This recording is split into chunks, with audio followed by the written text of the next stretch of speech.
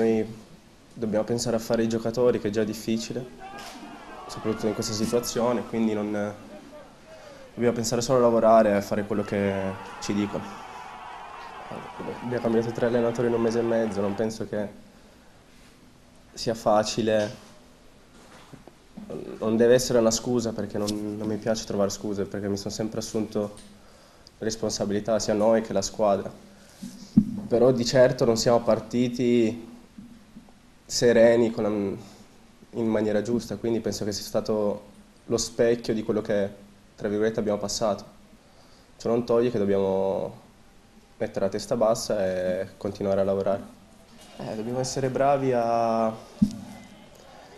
isolarci, a cercare di rimanere noi come gruppo e, e far cambiare l'opinione alla gente, a tutto l'ambiente, solo con, con il lavoro possiamo riuscire a fare ciò, perciò l'unica cosa da fare è continuare a lavorare.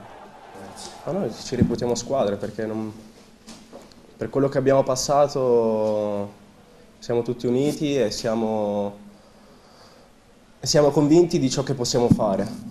Come ho detto, l'unica cosa da fare è continuare a lavorare che solo con il lavoro puoi girare questa sorta di sfiducia, sfiga, chiamatela come volete, perché in questo momento gira così, l'episodio a posto di girare in maniera favorevole gira in maniera sfavorevole, però solo con la convinzione e il lavoro possiamo girare queste, queste cose qua.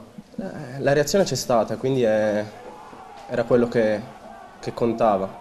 La reazione c'è stata, c'è stata anche la possibilità di portare punti a casa e, dobbiamo, e su questo dobbiamo continuare a lavorare e cercare di migliorarci giorno dopo giorno.